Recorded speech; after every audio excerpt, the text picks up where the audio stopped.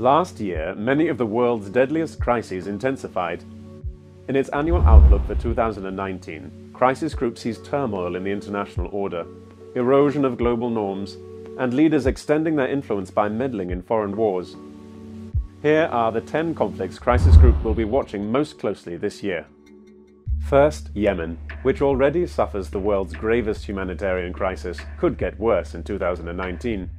UN officials say that if the key port of Hodeidah comes under attack, parts of the country could suffer famine. Fighting in Afghanistan took more lives last year than any other war on the planet. Without progress in peace talks among the Taliban, the United States, and the Afghan government, this year's death toll could be even higher. China US tensions are not a deadly conflict despite their trade war. Still, rhetoric from both sides is increasingly bellicose. If relations worsen, the rivalry could have graver geopolitical consequences than all the other crises. In the Middle East, rivalry risks escalating between, on one side, the US, Saudi Arabia, and Israel, and on the other, Iran. A clash at any of the region's many flashpoints could provoke a wider confrontation. In Syria, mixed messages from President Trump about the potential withdrawal of US forces increase the odds of a bloody conflict involving Turkey, its Syrian allies, Kurdish forces, and the Assad regime. This could give ISIS a new lease of life. Nigerians go to the polls early in 2019 amid especially combustible electoral conditions. Boko Haram militants are resurgent, and the country is experiencing unprecedented levels of violence between farmers and herders.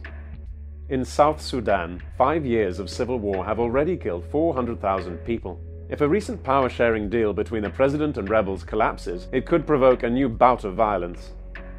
Fighting in Cameroon's Anglophone areas is close to civil war. As nearly 10 separatist militias battle government forces, the crisis has displaced half a million people. Without talks between the government and Anglophone leaders, it is likely to get worse. In Ukraine, sporadic fighting in the eastern Donbass region continues, with civilians paying the price. Another flashpoint is the Sea of Azov, where Russian and Ukrainian ships clashed in November. Last is Venezuela. The economy is in freefall. One of ten Venezuelans has fled the country, with more leaving daily. Latin American leaders are struggling to convince President Maduro to accept a transition of power. These are Crisis Group's top 10 conflicts to watch in 2019. We will be making every effort to help bring peace to these and many other crises worldwide.